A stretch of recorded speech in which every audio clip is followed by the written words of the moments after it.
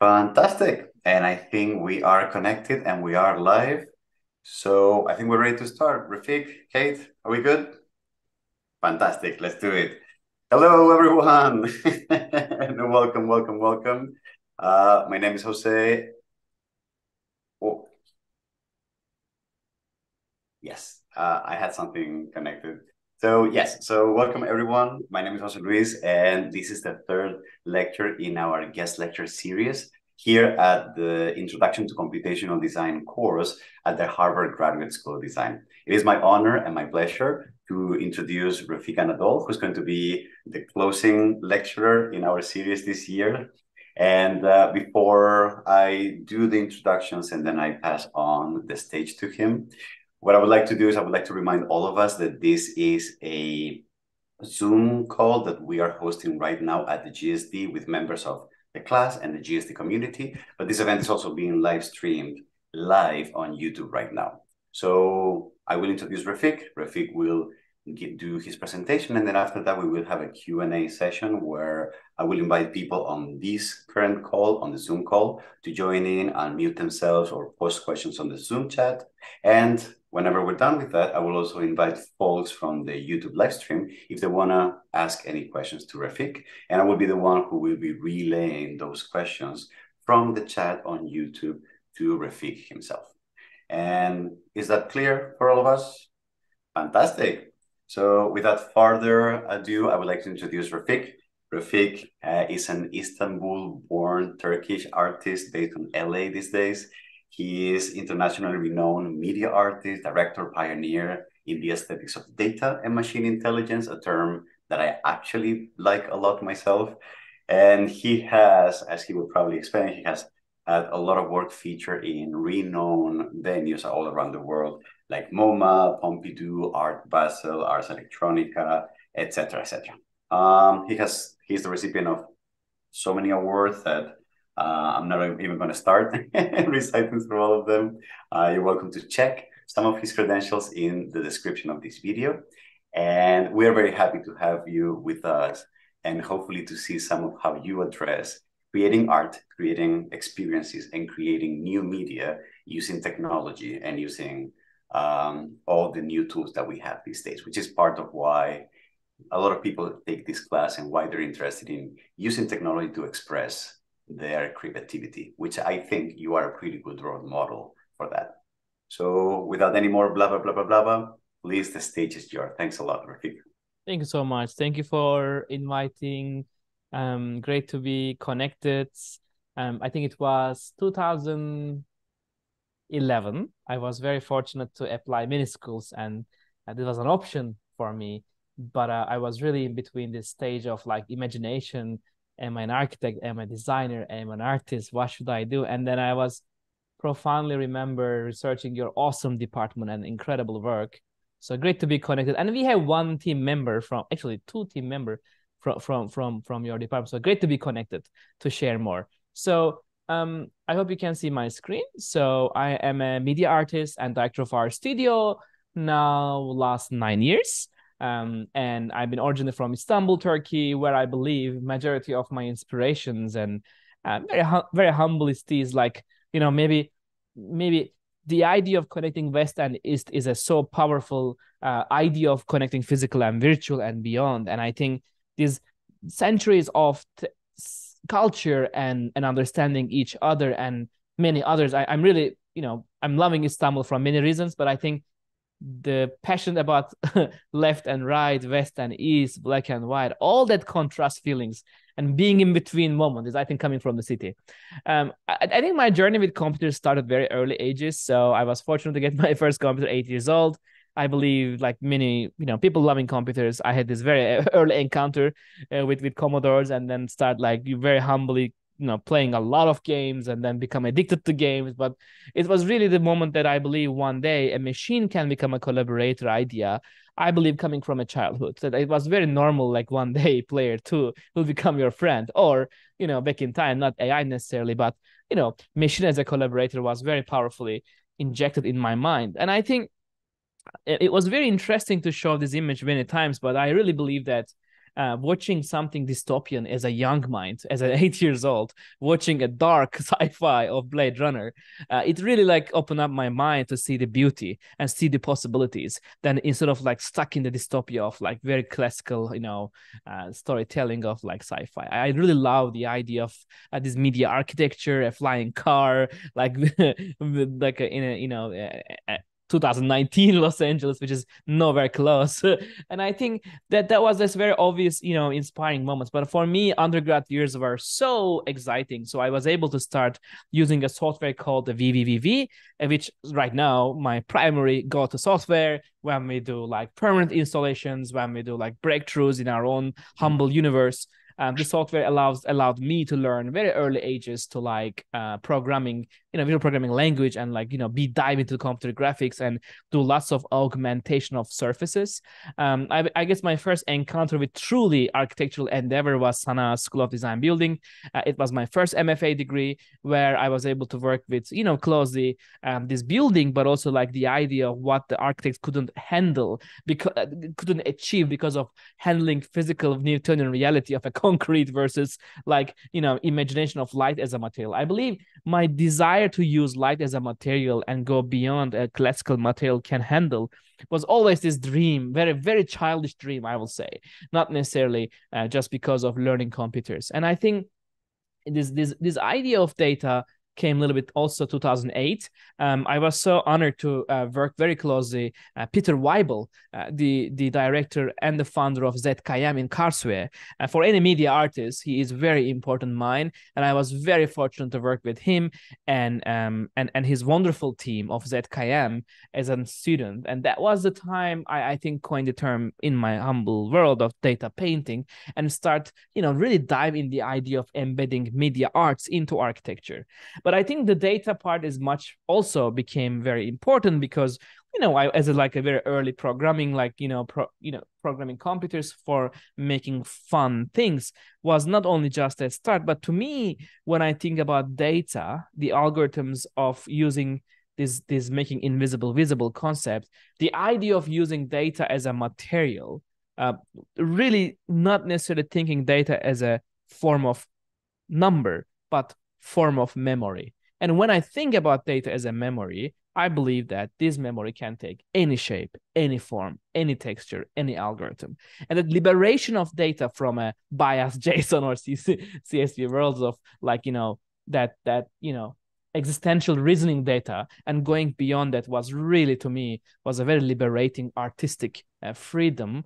And of course at the meantime i know that we are not alone in this idea of data spaces. The world is incredibly going you know beyond. But also i was really inspired about the perception visual perception and really like inspired by the idea of questioning the boundaries of like reality. And i think this all physical and virtual world you know structures and early like Usman Haque and many other amazing people speculating media architecture space. And personally i'm also very like inspired by the idea of how technology transforming who we are and how exactly we are transforming our decisions through machines hardwares and softwares and how exactly we are in these like controls of systems and hardwares and also this idea of sense of displacement like when i put i when i put them all this together i really found a happy and very inspiring space of transforming built environments. I found it much more meaningful to, to turn the architecture of any surface and any space, a building, facade, or a door, or a window, or whatever the function of the space, I found them an incredible form of canvas. And that's how I think uh, the journey started.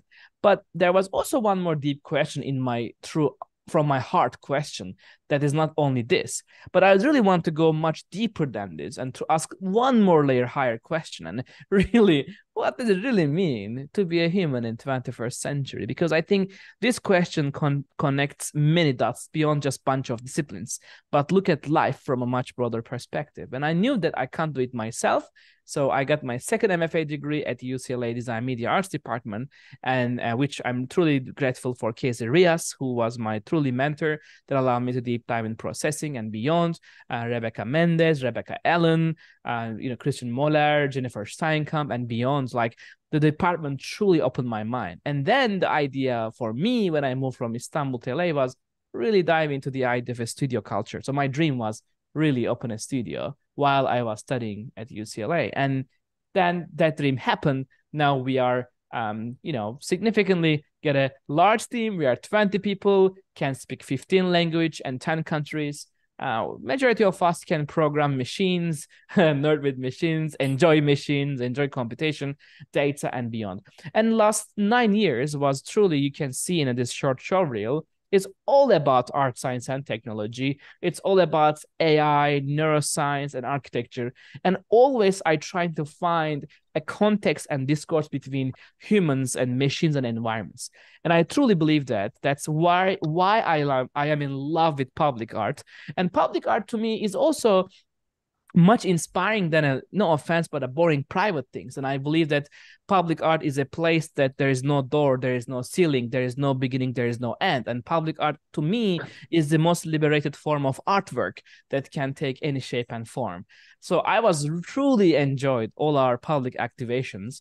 And i truly believe that art cannot be for only certain people. Art should be for anyone any age any background for everyone simply and I believe that that can only happen if it is in the unexpected locations of life. So if we only put art into a museum or a gallery, it's a so boring last century idea. I do believe that architecture is much liberating context, and I think this can be everywhere and anytime. Um, and I believe that to make it happen, uh, you have to find gatekeepers of art world. You have to find all the like blah blah talking dinosaurs of like the Xeno universe. It was a very challenging nine years. But while the art world was sleeping and really slow and thinking too much about what is art, what is not, AI and machines and like all that like last century concepts, I, we were just working really hard. And I do believe that um, instead of talking too much, uh, sometimes practicing, creating, uh, and making and talking, and creating a touching an algorithm, a machine, or a form of a architecture, it's much more profoundly inspiring than just the art world's stuck to reality of you know bias. So that allowed me and my team to really explore um, many different disciplines respectfully uh, and always try to be uh, like respect other disciplines but also like come together uh, without too much you know bias thinking of categories and disciplines and roles and regulations. Um, and we love so much practicing in uh, in a hospital as a canvas you know school as a canvas airport as a canvas just to make art for really anyone and just find the context through technology of the space or the function of the space. And I think one of our fundamental research tra- transformed us. Yeah. 2016. Um, in 2016 February, I was the very first artist in resident at Google, and it's a very remarkable year because 2015, the deep dream was just arrived. In four months later, I was literally working with the people who were just, you know, put the very first code of like Inception and so on. So this is Mike Tyka, one of my first, uh, I mean, wonderful uh, collaborator and true mentor and liaison at Google, and many other great people uh, allowed Blaise, Agare Arcas and more uh, truly help us to learn how to compute data and beyond, like imagine uh, machine intelligence as a partner. My inspiration came from Library of Babel for a long, long, long time. The idea of one day every single data may exist in one location, no door, no gate, no badge, nothing but just data as a physical representation of life. So I know that's not that easy to achieve um, in our reality of corporates and all that, like you know, gates and whatever's. But you know, art is a place to imagine. So I believe it's the very first installation, public installation, architectural installation, use a real-time AI in real time and a library in a real-time library and transform 1.0 million documents. So archive dreaming was a really important project for me and I believe for media arts. And we were able to transform the data of the library called SALT and transform it in real time into a machine learning algorithms that shows people beyond a search bar. Of course, it questioned that if a machine can learn, can it dream? Can it hallucinate? And for artists, I believe it's more inspiring to use algorithm beyond mimicking reality and go beyond the like realism and reasoning and find a place where the dreams and hallucinations and chance and control is more inspiring. So, of course, seven years ago, putting these things in virtual spaces and VR and AR and XR all that stuff was really inspiring. But also this on the left side now it's seven years old, ancient GAN model. But it was really inspiring to like think about this idea of a machine hallucination. And to me, if one day a machine can dream, I don't believe it is a frozen like pigment, I believe it can be completely in flux and never stop and never pause.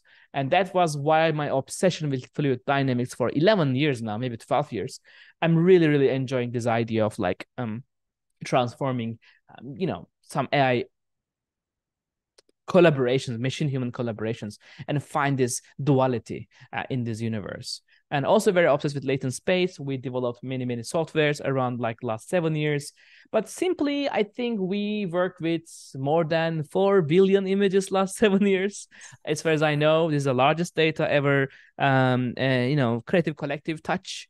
Uh, it was really ambitious. It was a very ambitious. We trained more than 300 AI models in sound, image, and text, and we explore different archives of the world. And one of the inspiring part of, of course, is like, you know, not necessarily plotting things from the latent space, but also creating tools that allows me to like narrate this latent cinema space. And latent cinema, when I say this, really putting a camera in the mind of a machine and reconstruct realities through this landscape.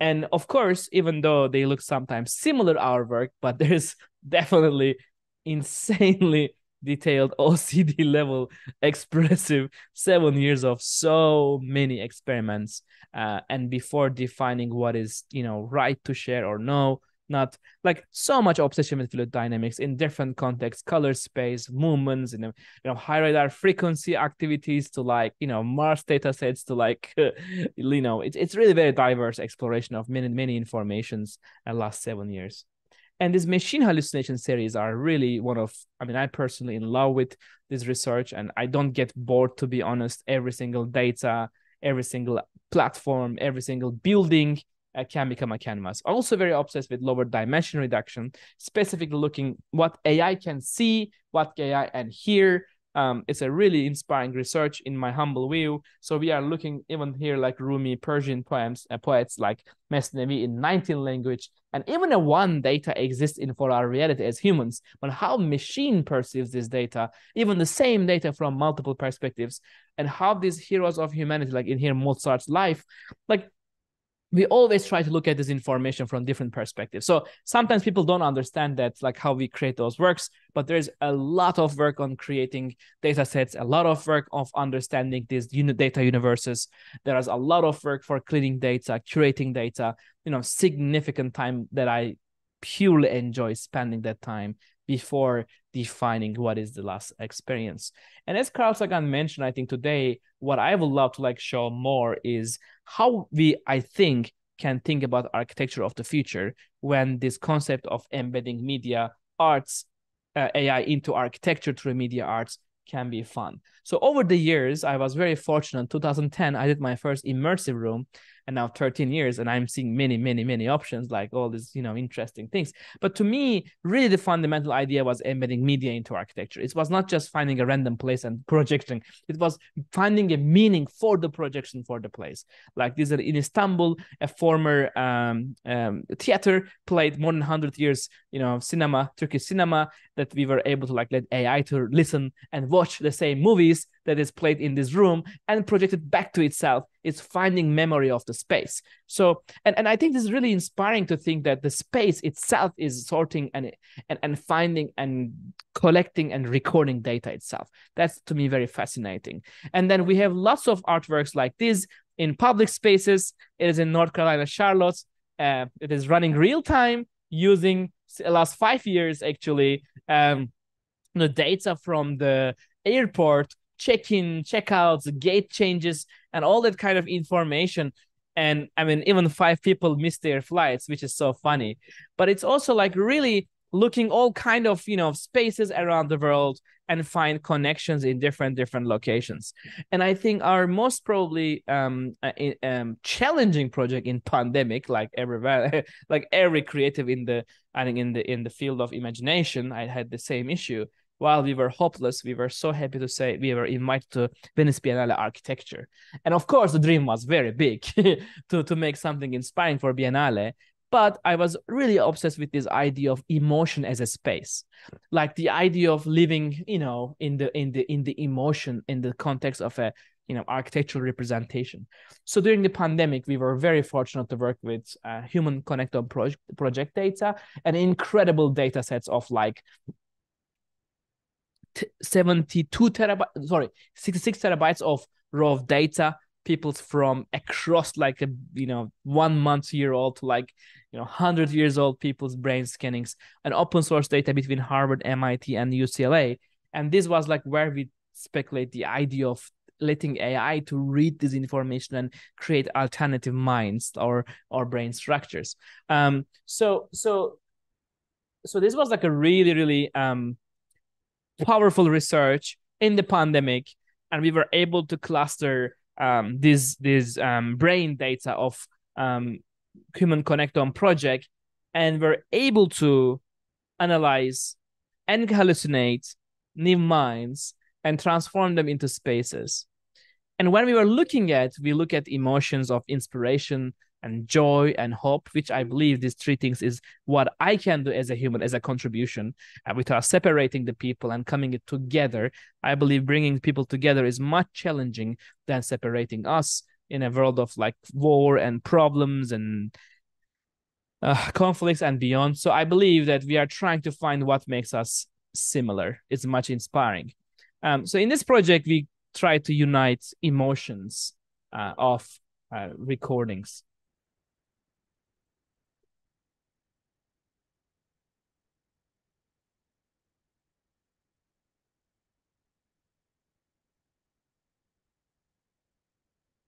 And and what was really really inspiring is maybe just quickly there was lots of dreams in the pandemic transforming these forms into installations they were fortune to make. But you know we speculated at least um, in the form of sculptures and spaces to be in. Um, and and then later what was really inspiring is uh, we worked with ai build friends uh, very close friends and we 3d printed a humble scale sculpture uh, from these data sets and then uh, transform them into uh, three dimensional sculptures.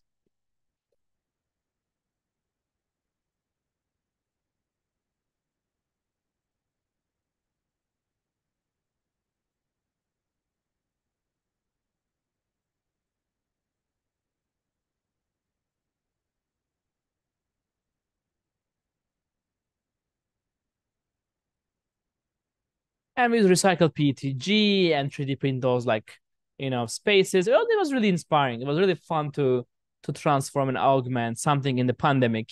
And that was very hard and challenging. But I think our studio's also well-known piece with in collaboration with Frank Gehry and LA Philharmonic transformed his cultural beacon Disney Hall into a canvas. This project was almost like 2012 when I moved to LA. It was the first dream project, uh, which was a uh, kind of MFA project. But of course, it took like four years after graduation because LA Phil loved the project to keep it for the 100 years anniversary, 2018. Um, so we transformed the canvas in collaboration with Foga and then they trans i mean they allowed us to transform the facade and we get the original uh, CATIA models from the historic archives and then you know took that uh, original files and you know deconstruct them construct them and you know retopologize the facade and like look at the inner structures through ai and re- re- repurposefully imagine the skin of the building and as frank gehry imagines. And we and we know that it was his dream to to give a life to building through lights so it was a very powerful moment to see that. And the work became pretty much a public art piece that we received more than 100,000 people. Uh, it was a powerful moment of a place, a public open artwork in the city of Los Angeles that letting building dream. It is 100 years of institutional memories. And we've worked with pretty much every single recordings of LA Philharmonic. Uh, 70 years of every Mahler, Mozart, Stravinsky, every incredible musicians ever performed.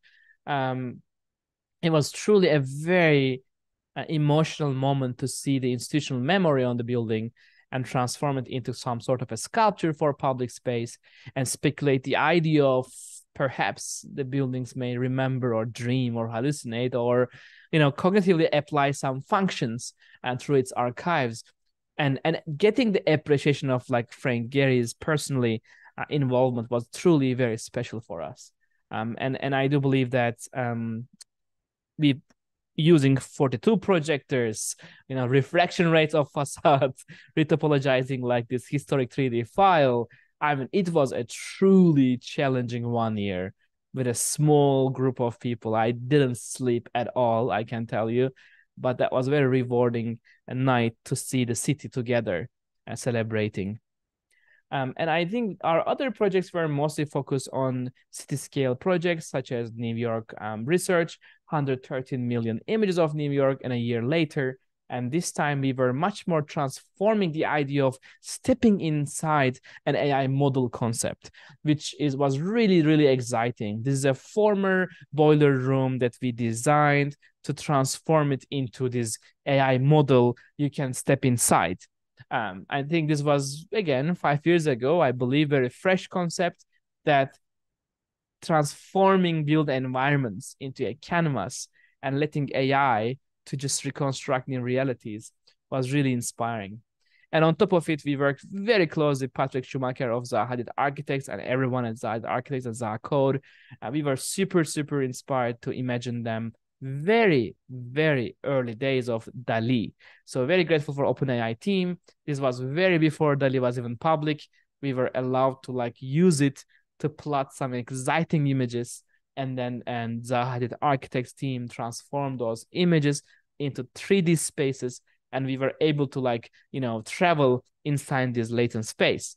Um, again, this is two years.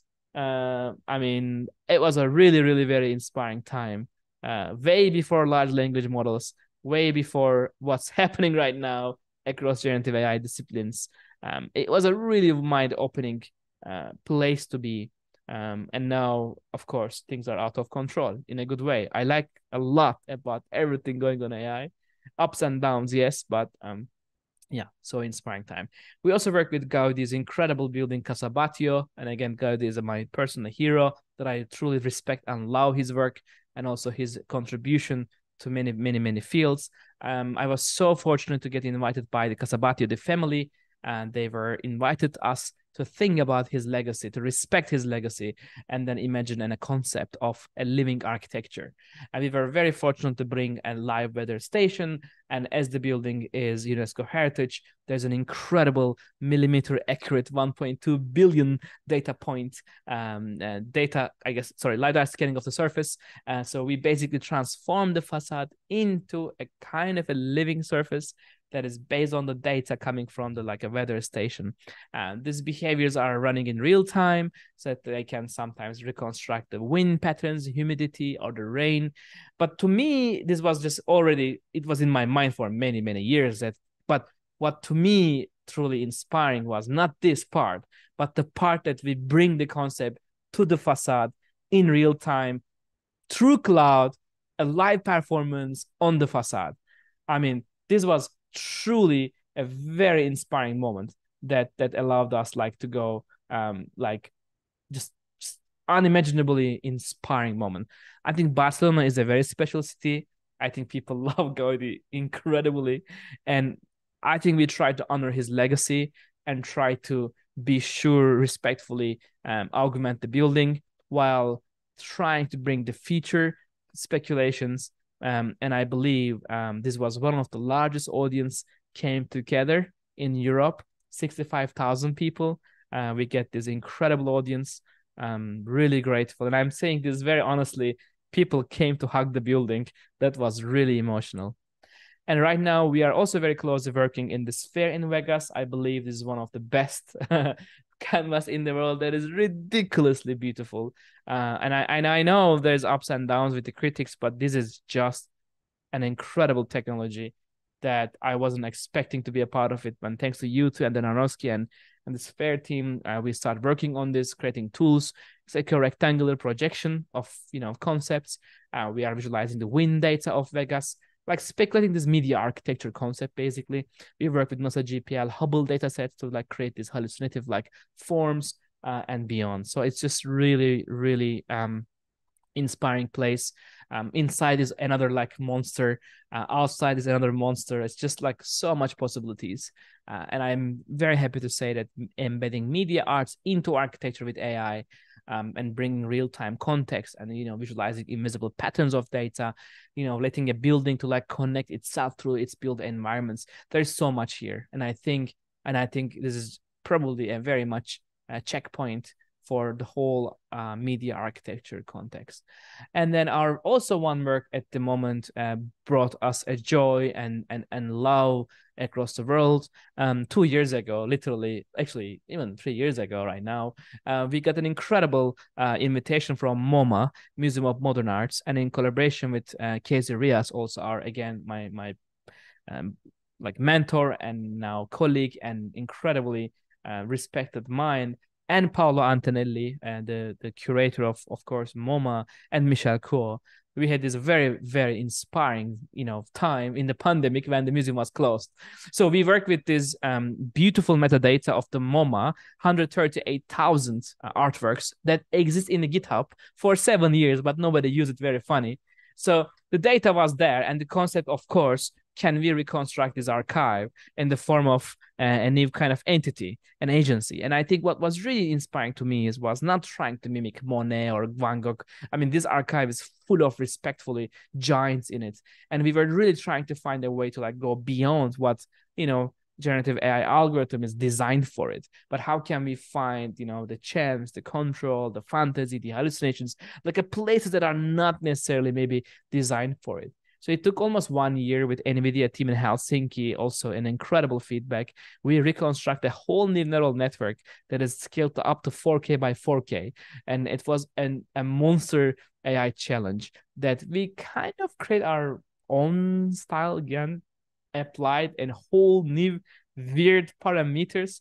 Um, and then on top of that, the work was a media wall in the in the lobby. But what was inspiring is MoMA allowed us to interact with this AI model with a microphone and a camera and this is a, a really fun space because what we were imagining is a living artwork basically that can hear the space that is you know based on the loudness like early morning there are students coming with a massive loudness. In the afternoons it's a very meditative space. Similarly the movement in the lobby was really really a lot of like inspiring moments. And we also connect the weather data to the like emission decisions.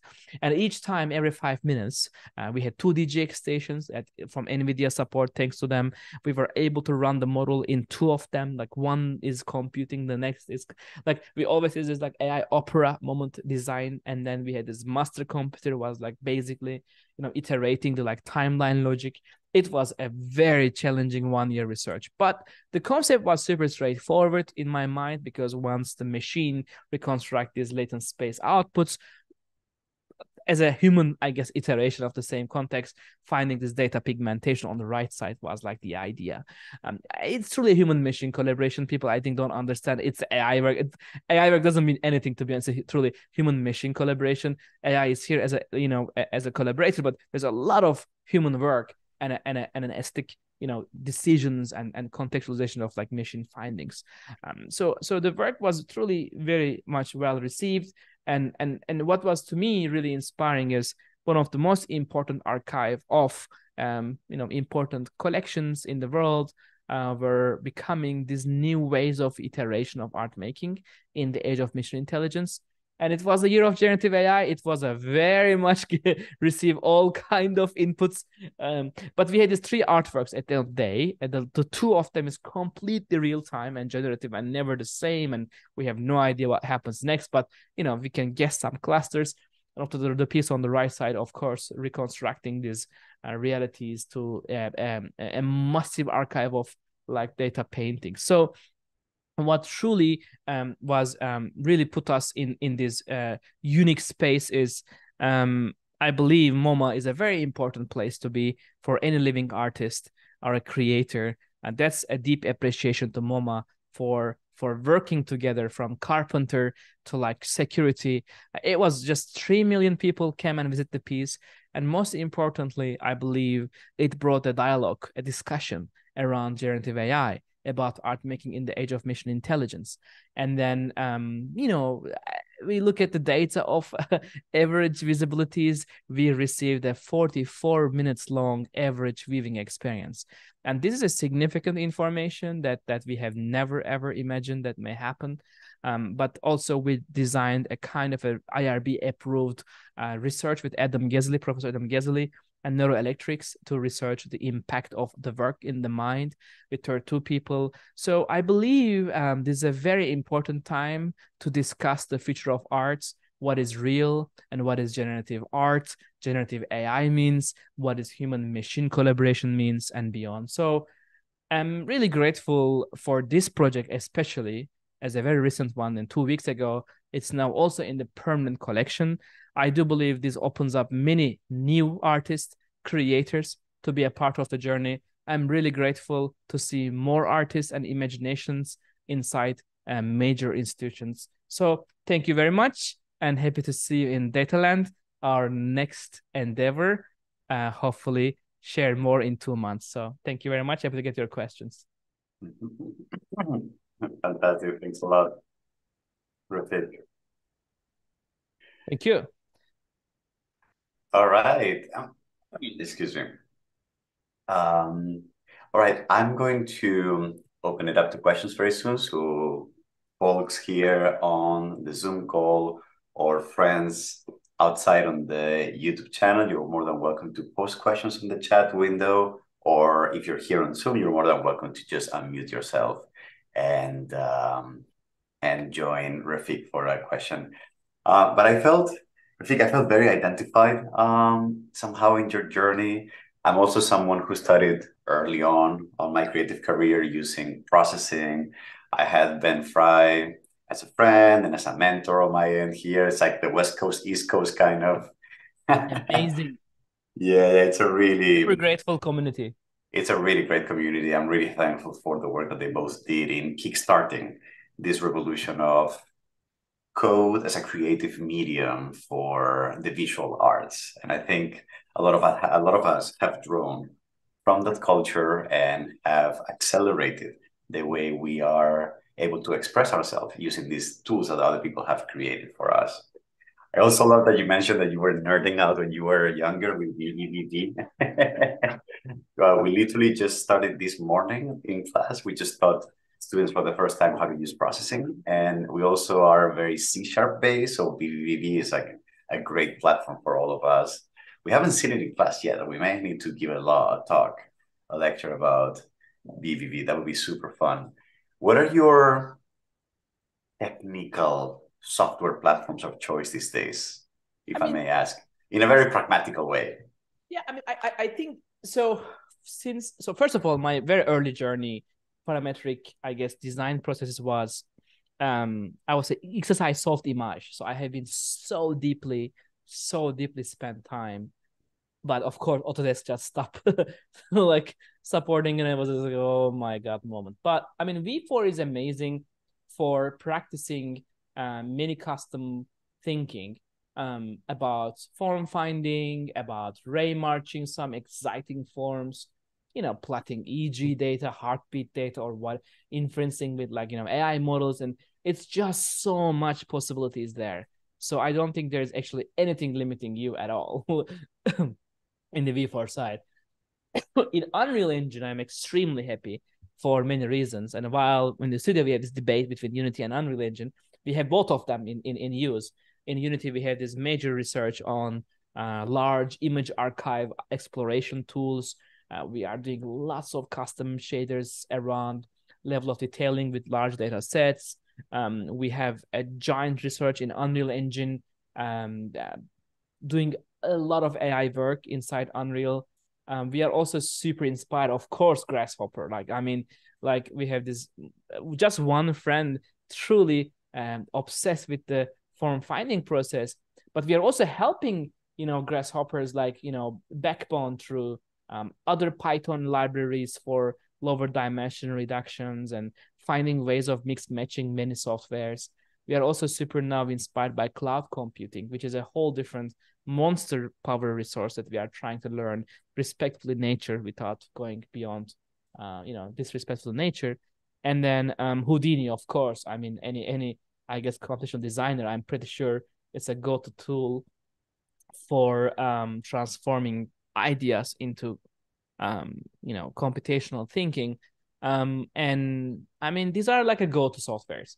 Processing was very much uh, our early days like 15 16 2016 yeah that was very very active. But you know since 17 i will say switching to like game engines um, with v4 backends and a lot of um, yeah real-time graphics side is there but we also work with very closely nvidia friends so uh, we are really grateful for some really unique breakthroughs that allowed us to like dive into very early rtx days. Like we were ray trace we were path tracing ray tracing but getting the rtx support through that you know in gamescom at 2018 we were able to uh, work with those exciting computational challenges.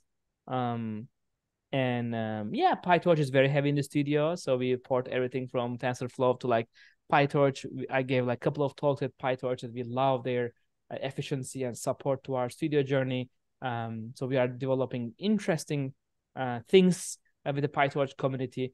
And we'll be open sourcing mini tools. Um yeah so much there. Fantastic. Thank you.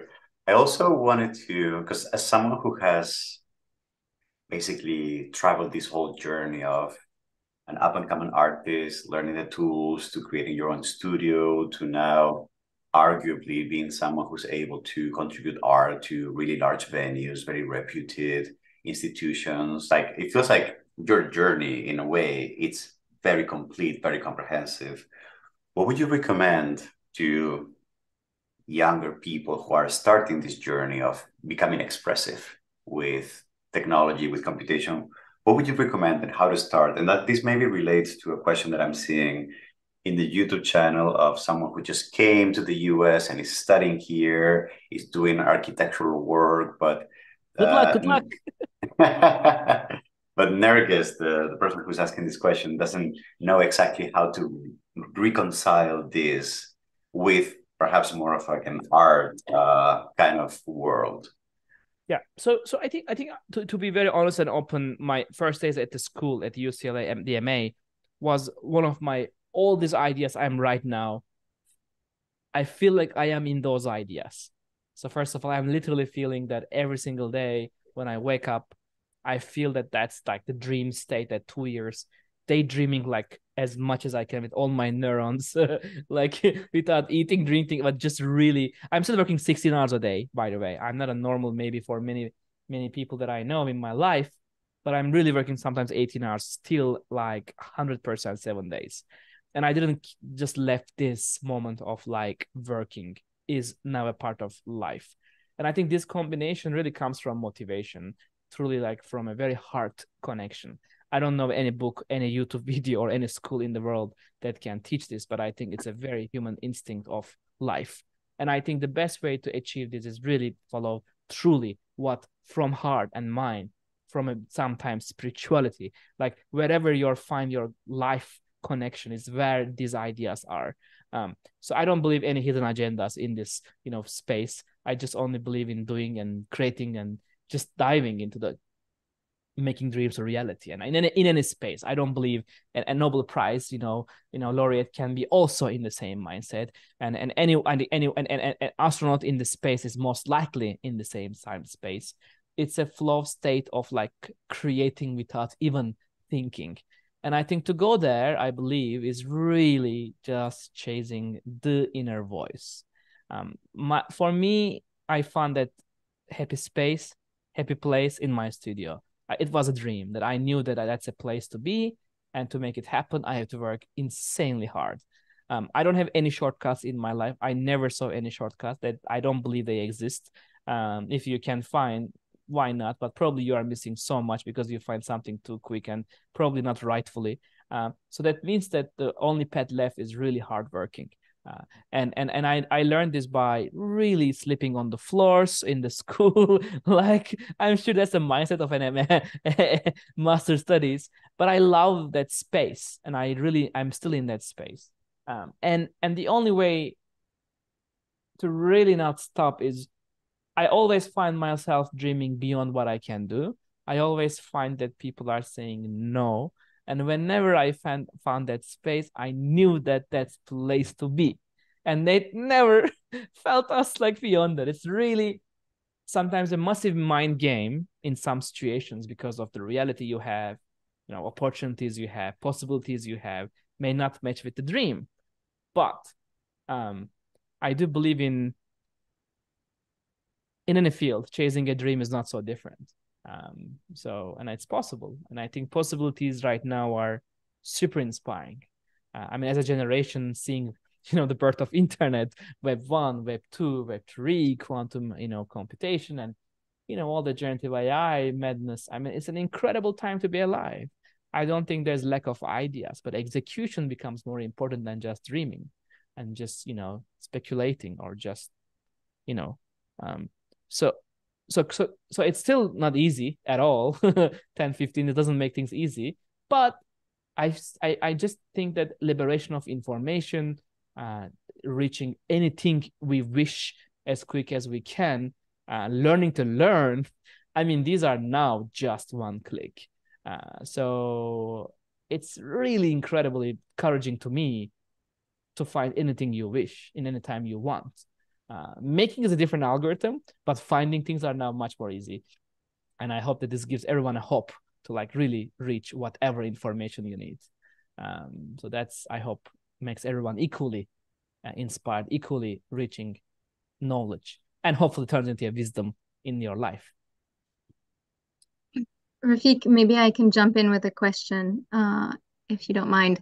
Um, so, I mean, I'm a big fan of your work, as you know. Mm-hmm. Um, and I, I think I want to go back to a conversation we had a few years ago around data and the importance also of what um, the inspiration behind the data in some ways. So, you know, we we talked often about um, the idea of physical computing and thinking about the human and data from which you can pull from the human. So whether that be neurological data or psychophysiological data, um, and use that data to tell a story um, beyond just using it as a as a metric for analysis, but as and I think a lot of your work tells a story beyond simply conveying the data as a point to point understanding, but also conveys it in a way that is experienced. Um, and I even think about your show in New York where you um, you also touched on a multitude of senses where uh, it wasn't just the visual that was being at play, but also uh, smell and and I kind of would love to hear briefly on your your idea, your perspective of really how you want to to tell the story of and the experience behind the data beyond purely just being numbers? Absolutely. I mean, it's an amazing question. So, so what, really inspired me is, I mean, I, I think there's like a two ways of seeing um, art making in the age of machine intelligence. I think one is really like diving into the narratives and storytelling and purpose and meaning and discourse and context. And there's also this inspiring way of truly deeply technologically understanding the data or the information that makes a story, right? So again, four years ago now, 2018, that I actually 2008, five years ago, we start like um, collecting the nature uh, as like as an information. We are super ambitiously recording uh, a lot of great data sets from amazing libraries and people and that we respect and love, um, all ethically like source data sets, collaborations and and wonderful people that we met so of course the question was like, yes, we can see the image of an AI dreaming, we can hear the image, I mean, sound of an AI, but I was really obsessed with other senses since like my childhood. And of course, without scent, I do believe everything is missing. And I didn't know that actually AI is a, like a part that when the scent scent part can be also used. 2018, um, the very first AI scent is invented by an Eric Saracchi, one of the most inspiring CTO of Firmenich, the company that is behind all the well-known perfumes. And they have this Charlie that tried on half million sand molecules. And I just very fortunate to like met and he just pinged me literally 2018, like in LinkedIn, like just randomly, hey, like we love to work with you because we have an AI nobody uses. Like what? Like there's an AI that nobody uses. And of course, this is a corporate, you know, problems. Like corporates are biased with their like guidelines or whatever's and all that, you know, like the, the borders of like things that they have to work through and then they said like you know there's this like ai that can be used for research. And then of course incredible. And then we dive into this two years now and it's an incredible research. And um, of course ai doesn't know what is a expensive molecule or not. Ai just dreams. Um, so but what is amazing is in our collaborations we have these brand collaborations which are very important but we use them to make free art open and free for public space. And for example, with Bulgari, uh, we were able to create this an AI algorithm that is real time dreaming the flora systems and the sound of the nature and the scent of the AI itself. So 2020, like I mean, in, in the pandemic, we designed this whole processes. Um, so what I believe is um, this living archive concept, which is uh, next month we are revealing a new project.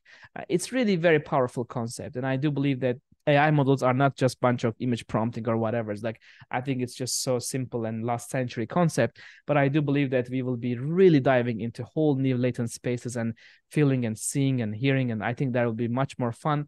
And as a studio, we are in that now. I think breakthrough edges of like how we can inferences with these universes and how we can create new architecture of the future that is not you know concrete, steel, or glass, but new environments. And I believe that um, this is just one exciting step that requires massive ethical research on data. Again, we are getting more and more closer to AI, and ethics becomes more and more important than before. Um, and that's one of the reasons for our Glacier Dreams project. I traveled personally and walk, you know, eight kilometers with 50 kilogram gears and collect our own data sets. So I think we are. It's an inspiring time to be, but I think the comfort zone is becoming more and more and more and more smaller uh, for creators to break, make breakthroughs with AI.